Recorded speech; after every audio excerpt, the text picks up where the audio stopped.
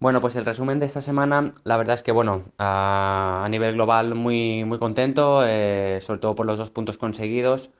Em, el equipo trabajó bien, con confianza.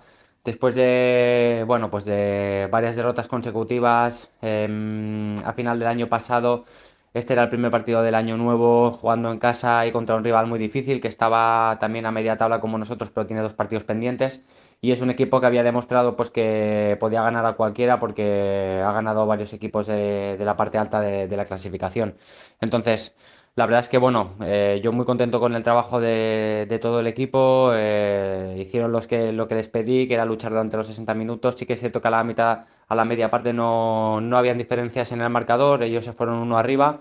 Pero yo, a bueno, en el descanso les dije que, estu- que tuvieran tranquilidad, que siguiéramos en la misma dinámica, con confianza en ataque, con tranquilidad y en defensa llegaríamos al momento en que tendríamos nuestras oportunidades de robar algún balón más y aprovecharlo en ataque. Entonces, bueno, creo que así fue. Muy igualado todo el partido y en los últimos 10 minutos pues se decantó un poco la balanza. Conseguimos una renta de tres goles y al final subimos a administrarla bien. Un poquito de sufrimiento al final, pero bueno, eh, marcamos ese último gol que nos dio la tranquilidad y sabíamos que nos íbamos a llevar los dos puntos. Entonces, bueno, muy contento por el trabajo del equipo, por recuperar sensaciones y confianza y, para seguir eh, adelante y luchar a- de cara a la semana que viene.